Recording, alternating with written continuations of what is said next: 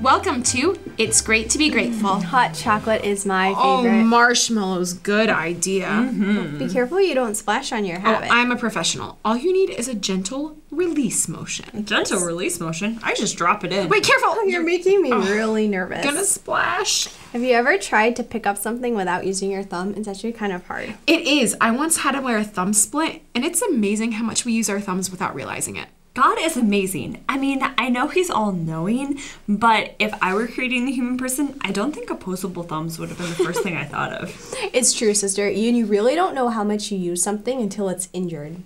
It makes me grateful to have all five fingers on both hands, and uninjured at that.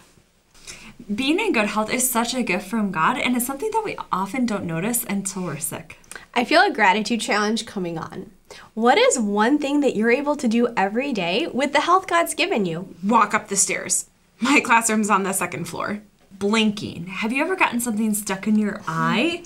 It takes over your life until you get it out.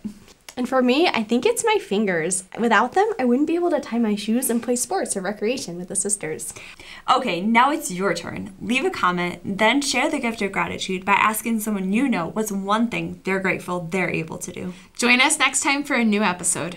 Until then, God bless you. And remember, It's great to be grateful.